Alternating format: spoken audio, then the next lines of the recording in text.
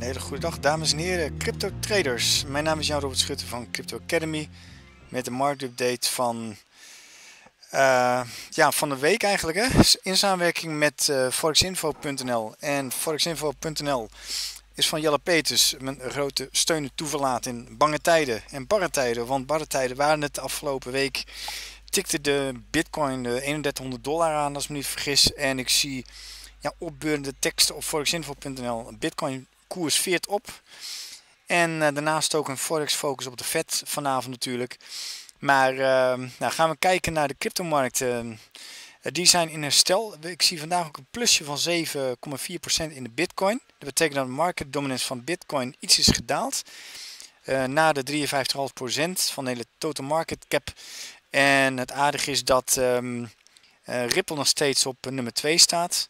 In Ethereum uh, staat op nummer 3. Allebei een mooie plus van 11 en 10% Dus dat is heel mooi om te zien.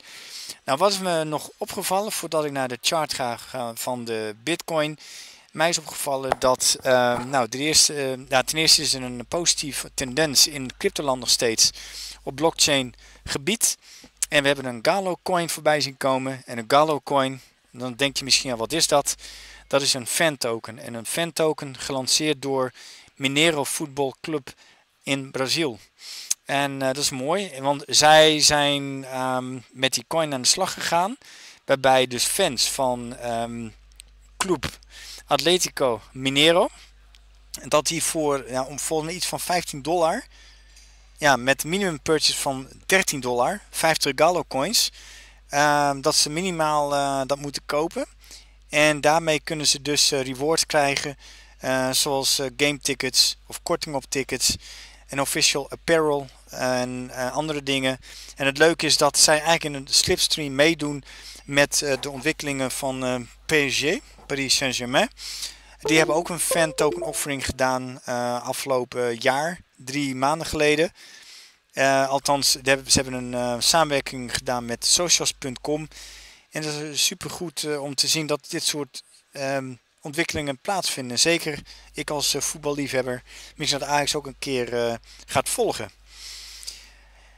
Uh, in ieder geval um, is het ook zo dat verwoede pogingen plaatsvinden van projecten om de blockchain in de voetbalwereld te krijgen. Dus om ook um, ja, bijvoorbeeld tickets valse tickets te vermijden, dat soort dingen.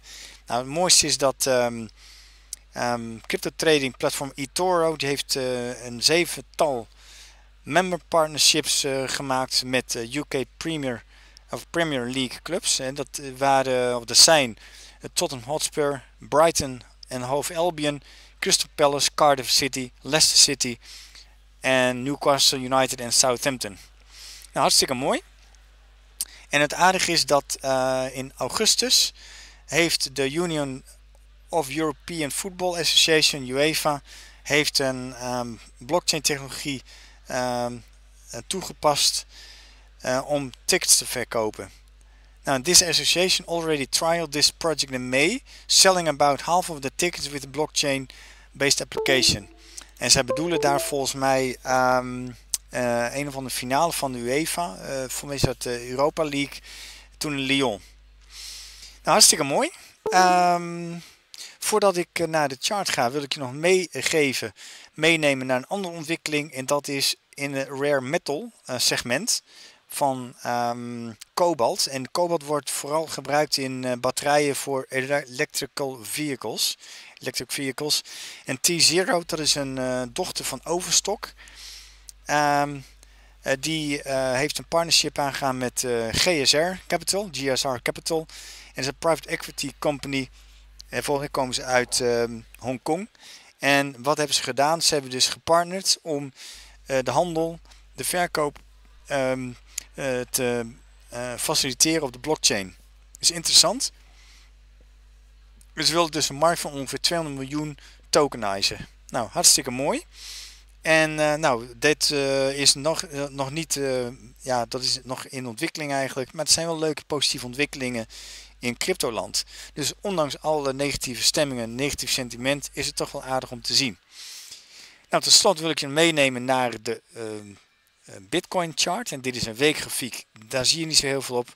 Dan ga ik liever even terug switchen naar de dag. En dan zien we dus dat afgelopen week, uh, vorige week, uh, de 31 à 3200 dollar test, grens werd getest. Nu is de bitcoin opgeveerd richting de 4000 dollar zelfs. Dus van de low naar de high in een brede trading range van 800 dollar. Met een positieve ondertoon. Um, nou, ik ben wel de hele tijd positief gestemd op de cryptomarkt, zoals je weet. Uh, ik had ook niet gedacht dat we zo ver en zo diep zouden zakken. Maar goed, dit is een positief signaal. En dat we nu ook eigenlijk de horde van uh, ja, 4000 hebben aangetikt. En in smaak misschien naar meer. Dus um, wat ook een leuke iets is om te weten. Wij hebben ook uh, webinars gedaan met uh, Crypto Academy over round number trading met price action. En het eerstvolgende niveau is 4000 rond. Dat is weerstand. En dan uiteraard 4100, 4200. Bij de major weerstand um, op price action uh, gebied dat is uh, 4360. Dan kun je eventueel afronden naar 4400. Zit er nog een uh, stijging in van 10% komende week? Wie zou het zeggen? Um, voor zover, um, tot dusver deze marktupdate. Wellicht dat we volgende week nog binnenkomen met een marktupdate. Misschien daarvoor, voor Christmas. Moet ik even met, met het team van Forex Info overleggen. Uh, desalniettemin, we wensen jullie heel veel succes natuurlijk met crypto traden. En tot de volgende keer en tot forexinfo.nl en cryptoacademy.nl. Tot de volgende keer. Ciao.